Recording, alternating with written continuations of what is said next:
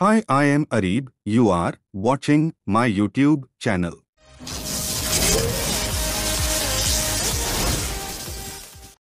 What is a neutral grounding resistor?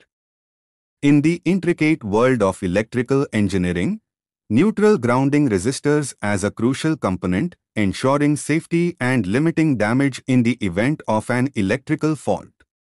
They are indispensable to the smooth operation of electrical systems, especially in power generation and distribution networks. However, their role may not be completely understood outside the circle of electrical engineers and technicians. This article aims to fill that gap, presenting an accessible, comprehensive examination of what a neutral grounding resistor is and how it works. We will delve into the theory and practice of neutral grounding resistor discussing their design, functions, and the mechanisms that make them essential components in protecting our electrical infrastructure. A neutral grounding resistor is a type of resistor that is inserted between the neutral point of a system, such as a transformer, generator, or motor, and the ground. Its primary function is to limit the current that flows in the neutral line during a ground fault condition. In the context of electrical power distribution, ground faults can occur when there's a failure in the insulation of a conductor, causing a current to flow from the system directly to the earth. This current, if not controlled, can be dangerously high, leading to equipment damage and posing a safety hazard. The NGR is designed to prevent these adverse effects by ensuring that the fault current is restricted to a safe level. It achieves this by increasing the resistance in the path to ground, hence reducing the current according to Ohm's law, current is equal to voltage resistance. It allows a manageable amount of current to flow, enough for protective relay systems to detect the fault and take appropriate action, while preventing a high, potentially damaging current. Difference between NGR and NGT The terms neutral grounding resistor NGR, and neutral grounding transformer, NGT, refer to two different devices used in power systems for protection during fault conditions. Here's the primary difference between them. Neutral grounding resistor, NGR. As explained before, an NGR is a resistor inserted between the neutral point of a system, such as a transformer or generator, and the ground. Its main function is to limit the fault current to a safe level during a ground fault. It does this by increasing the resistance in the path to ground, which, according to Ohm's law, reduces the current flow. Neutral Grounding Transformer NGT An NGT is a specialized transformer used to provide a grounding path for a system or to alter the effective grounding nature of a system. In many power systems, especially high voltage ones, NGT are often used in combination with NGR. The transformer is designed to present a high impedance to load flow, while the resistor controls the fault current. One common type of NGT is a zigzag transformer, which is used to create a neutral grounding point in a system that otherwise doesn't have one.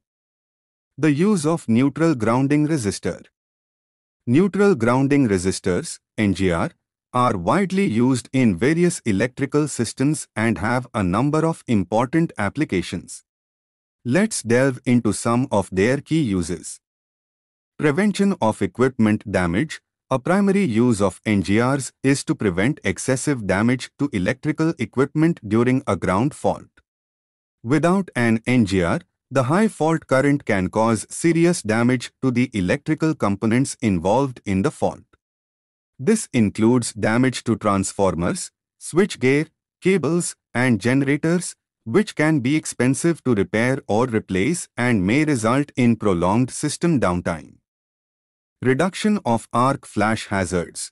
Arc flashes represent a significant safety risk in electrical systems.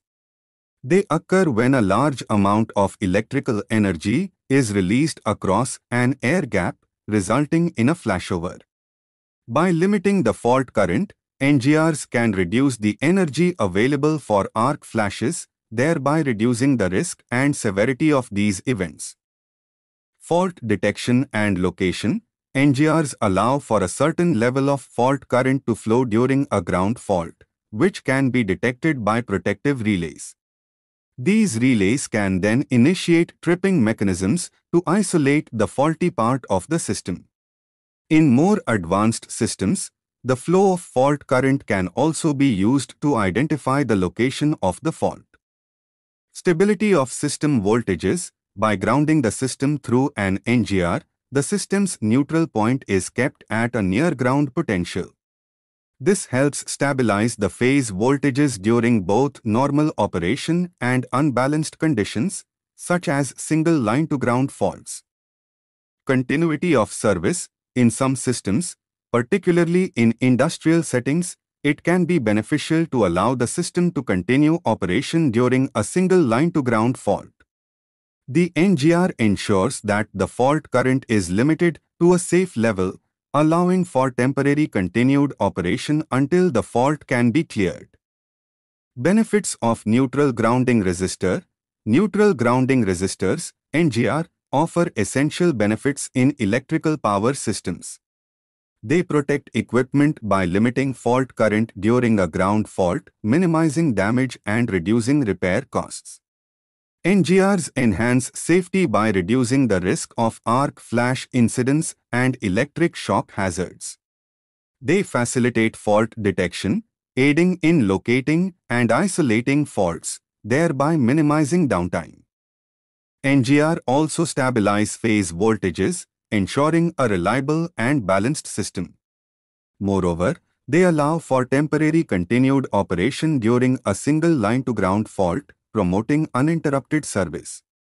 Overall, NGR provide valuable protection, safety, and stability to electrical power systems, improving equipment lifespan and ensuring uninterrupted operation.